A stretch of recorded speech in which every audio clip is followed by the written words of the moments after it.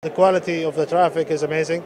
We participated in the first edition of TGFM. Uh, we had a great outcome and we are very happy to be back again. Uh, we are offering our chocolates that we can produce.